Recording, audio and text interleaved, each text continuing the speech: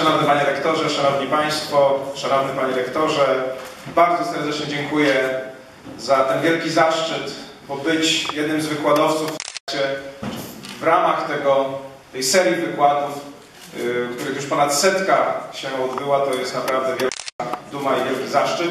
To prawda, że ja pewnie nie jestem pupilkiem władzy, ale niektórzy przedstawiciele instytucji, niektórzy przedstawiciele władzy na moje wykłady przychodzą. Chciałem szczególnie podziękować jednemu przedstawicielowi, panu Rzecznikowi Praw Obywatelskich, panu Adamowi.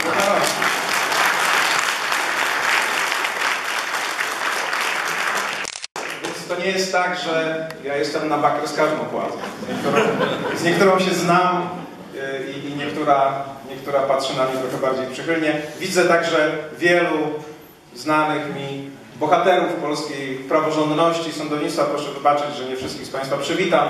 Bardzo cieszę się, że Państwo przyszli na ten wykład i że zechcą mi tutaj dzisiaj e, towarzyszyć, zwłaszcza, że zadanie, które przede mną stoi jest dosyć trudne i zaraz Państwu powiem, dlaczego ono jest trudne. Mianowicie chcę mówić dzisiaj o tym, jakie są przyczyny odradzającego się autorytaryzmu. Ale jestem prawnikiem. No, w związku z tym Właściwie wszyscy mają prawo oczekiwać, że będę mówił o tym jako prawnik. Natomiast ja nie chcę mówić o tym jako, jako prawnik. Z jednego podstawowego powodu, który, który teraz wyłożę.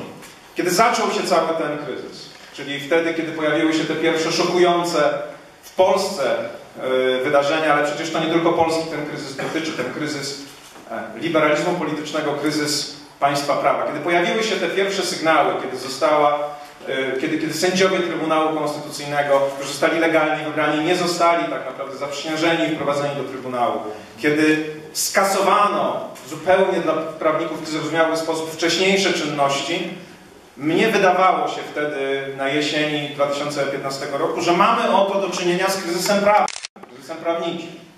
I miałem takie przekonanie, które jest bardzo stare, ponieważ ono jeszcze wywodzi się pewnie od Sokratesa, jest naiwne dosyć, mianowicie, że jeżeli ludziom, którzy popełniają błędy, wytłumaczy się, dlaczego je popełniają, to oni przestaną te błędy popełniać. To znaczy wiedza spowoduje, że oni zrozumieją, że postąpili źle i będą już od zawsze, na zawsze postępowali dobrze. Próbowałem robić, próbowałem robić na jesieni 2015 roku, na wiosnę 2016 roku, Później przed Trybunałem Konstytucyjnym w tej słynnej sprawie K47 przez 15 ciągle byłem prawnikiem i ciągle argumentowałem prawniczo. I to było jak grochem o ścianę. To było jak grochem o ścianę. I w pewnym momencie zdałem sobie sprawę, że to nie jest kryzys prawniczy, że to nie jest tak, że druga strona nie wie, nie rozumie. Przez, to, przez tę drugą stronę mam na myśli nie tylko przywódców, ale elektorat, czyli ludzi, którzy głosowali i tym przywódcom, przywódcom zaufali. I wtedy zrozumiałem, że, że tutaj sama argumentacja prawnicza nie wystarczy, bo kryzys, z którym mamy do czynienia, nie jest kryzysem prawniczym i prawnym, jest kryzysem głębszym, jest kryzysem psychologicznym i kryzysem socjologicznym. I prawnicy go nie rozumieją, bo nie są psychologami i nie są socjologami, a psychologowie i socjologowie nie rozumieją często, bo nie są prawnikami. I zrozumiałem, że uniwersytet, czy my wszyscy, jako wspólnota ludzi myślących, stoimy wobec w pewnym sensie nierozwiązywalnego problemu, bo zamknęliśmy się w swoich dyscyplinach. Jesteśmy specjalistami od coraz węższego kawałka rzeczywistości. Już nie ma specjalistów laryngologów, tylko jest specjalista od ucha prawego, lewego i środkowego. I nie rozmawiamy ze sobą.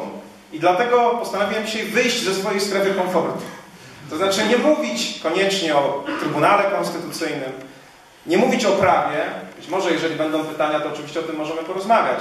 Ale chciałbym mówić o czymś innym. Chciałbym zapytać sam siebie i Państwa, dlaczego argumenty racjonalne nie działają? Dlaczego argumenty, które wydawały się skuteczne, nie są skuteczne?